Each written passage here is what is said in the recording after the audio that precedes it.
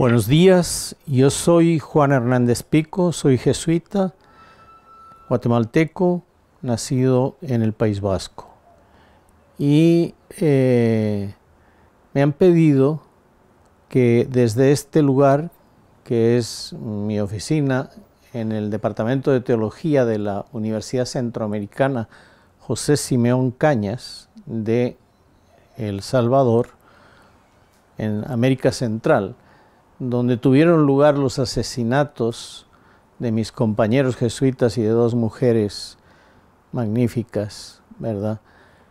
Eh, que nos acompañaban con su servicio, les hable un poco sobre eh, el papel del Papa Francisco en América Latina. Va, en primer lugar, obviamente, lo principal es que haya habido un Papa de América Latina. Eso es la primera vez que sucede en la historia. Y por eso es muy importante. América Latina tiene hoy probablemente eh, el número mayor y la proporción mayor de católicos, al menos de gente eh, enraizada en el catolicismo. Otra cosa es su práctica real, pues, ¿verdad? Eh, en el mundo. Entonces, esto tiene una importancia grande. Que además sea jesuita, bueno, es la primera vez en la historia que hay un papa jesuita. Em, además de eso, solamente con eh, haber visto el cambio en la manera de actuar de un papa tiene una importancia enorme. Eh, el papa Benedicto era un gran intelectual, pero un hombre muy reservado, ¿verdad? Eh, difícil en su comunicación con la gente. Francisco tiene una comunicación enorme como lo mostró en, su primer viaje al exterior que coincidió con la Jornada de la Juventud en Brasil. Eh, cambió además todas las cuestiones de seguridad, se atrevió a entrar en las favelas de Río, ¿verdad? Eh, en fin, es una personalidad nueva, ¿verdad?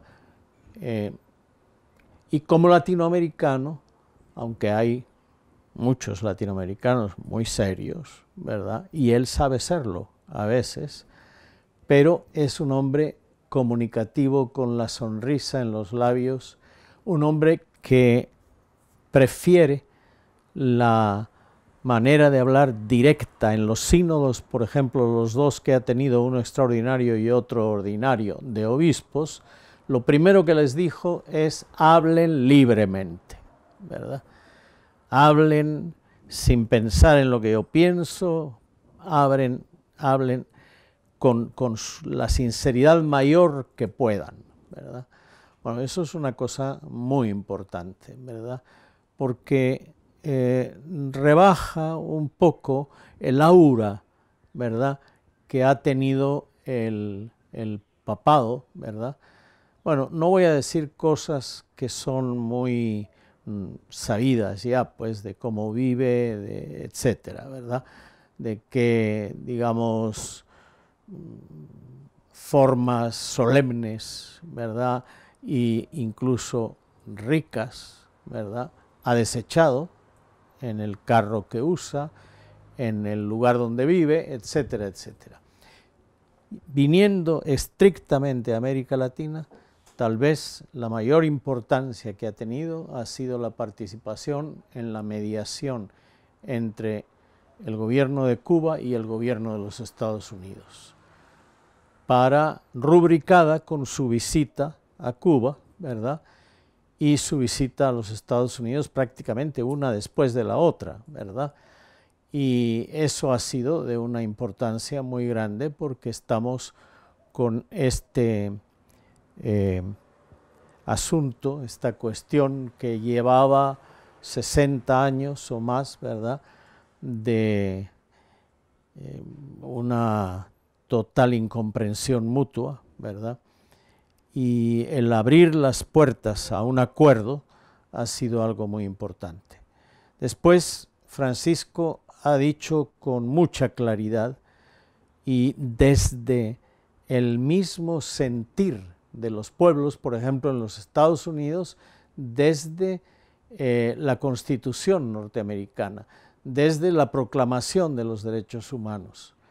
Eh, ha hablado con una claridad enorme. No lo hizo así en Cuba tanto.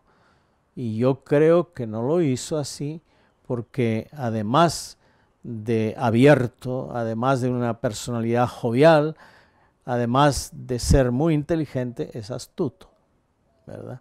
Y sabía que si en Cuba empleaba el mismo, eh, digamos, lenguaje crítico, ¿verdad?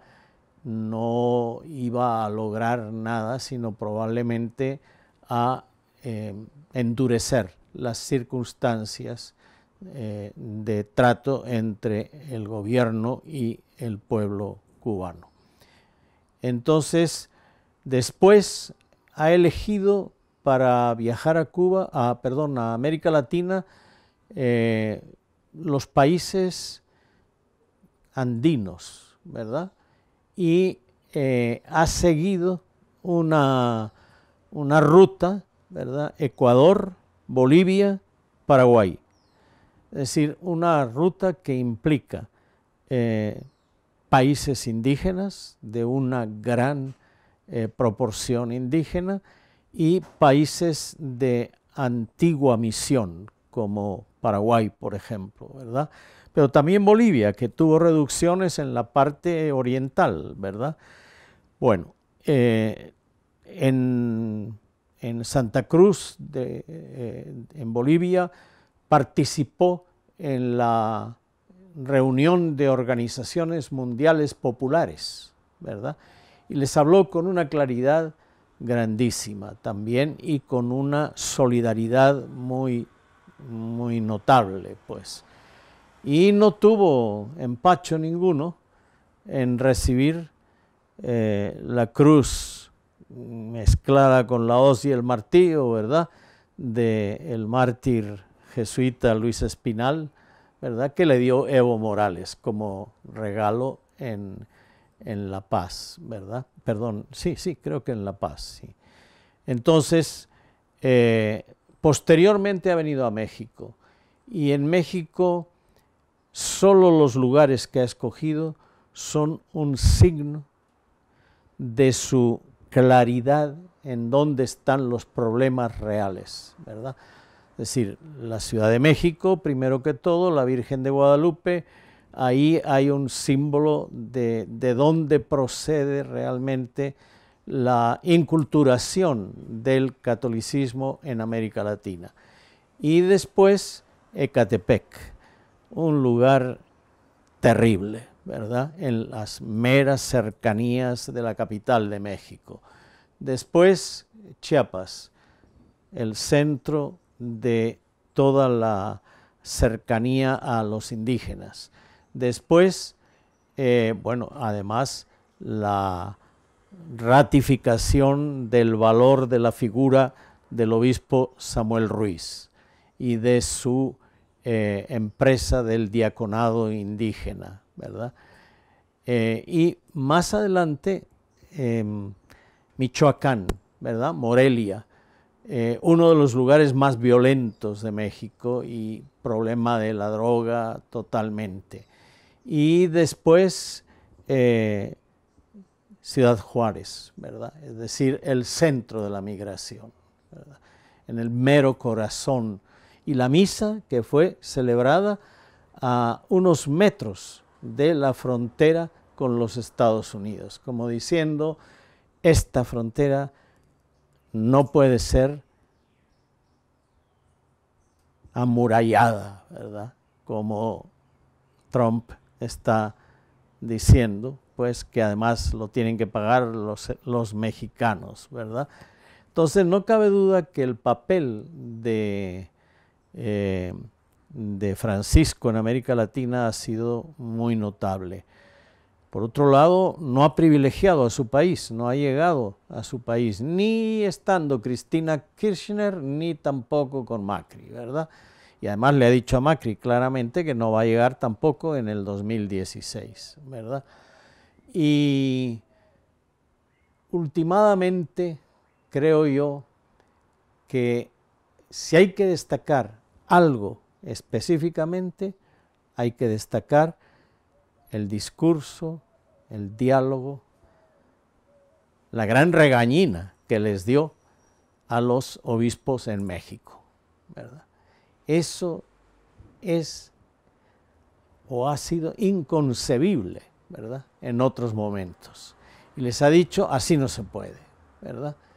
¿Por qué? En último término, porque Francisco ha heredado un episcopado que es fruto de los nombramientos de la curia, porque San Juan Pablo II no le interesaban los nombramientos, ¿verdad? Y a él le interesaba su carisma de comunicación en todo el mundo y dejó fuera el interesarse en el día a día de la curia y la curia pues tuvo completamente la curia vaticana, ¿verdad? Todo el poder en sus manos para nombrar un episcopado en América Latina eh, muy conservador. Es notable que en muchos de los países de América Latina, sobre todo en aquellos que no han recibido todavía la visita de Francisco, apenas se habla de él. Que ha tenido algunas, digamos, eh, vaya, errores podemos poner en este sentido, ¿verdad?